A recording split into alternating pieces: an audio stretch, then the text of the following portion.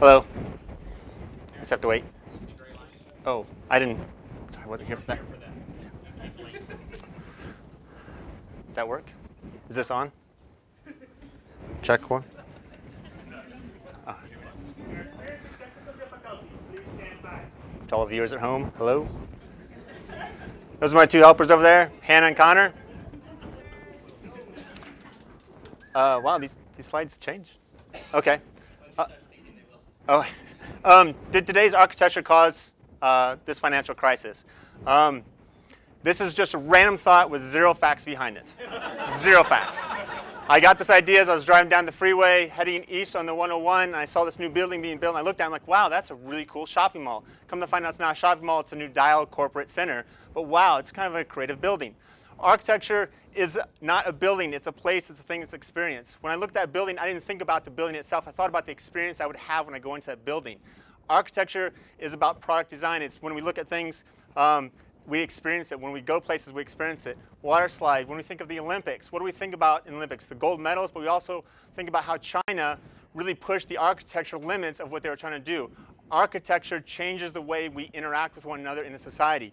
Seattle Library, fantastic place to be in. It changes when you get into that space. You're no longer thinking, wow, I want to go jogging. You think about, wow, this is a creative space, begin thinking, studying, and, and architecture can do that for us. And when we don't pay attention to the buildings in our environment, we get things like this.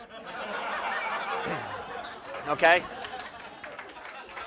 And, and I'm guilty of this. I'm guilty, you know, living in a space like this, but this doesn't inspire. This doesn't really challenge the way we think. This doesn't challenge anything except how do I get into it? Do I want to do business with this? You know, do I, do I drive by and go, wow, I've got to stop in here and check that out. What is that? You know, and when a business gets in there, do they grow because they go, wow, this space is so cool, and employees working there go, I'm really inspired by this environment.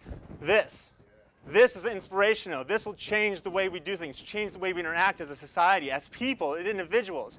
Businesses will get into the space and change the way they do things. A country that's building all kinds of odd shapes we're all now inspired to go to and travel to. Homes can really be different. Boxes can be done in different ways to be cool. The front of a house, I can look into it, I can see activity. I'm open to it. It's, it doesn't have to be closed off the garage and shelter ourselves from the rest of society. It can be something friendly. Typical Arizona, short driveway, very narrow area, and a little playground in the back. I mean, with walls that we can't see our neighbors, what does that do for us? What does that do as a community? How do we communicate to one another when we block ourselves off? Older style homes, the garage, separate and back, gave you opportunity to park the car and walk into the house, to separate yourself from work to home. Front porch, walking by, could see people hang on the porch, opportunity to talk to them. This is environment. When I go back to this, it's like, where is the front door? should, should I go over here? Should I not?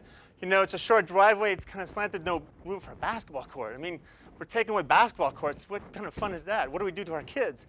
So what does all this have to do with the financial crisis?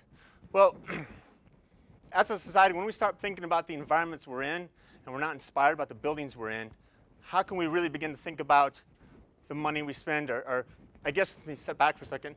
We're an experienced society, always looking for the next experience. And when we don't have a good one on a daily basis, we kind of go overboard. Detail, space, and legacy. Three things I really want to talk about because there's all kinds of issues with this. So detail. When I think about architecture, I think about the details and things. Taking a moment, stepping back, looking and going, wow. They took, they took time to think about the detail. And it's that detail that trans, transcends into us, into the details of our daily lives. When we don't look at the details, we don't look at the details of balance sheets of large corporations. I mean, if we start really following the details, you'd realize we don't have money to be spending on this. We're spending way too much. We can't afford this. So as a society, when architecture doesn't pay attention to details, we forget about the, the checkbooks. Space. These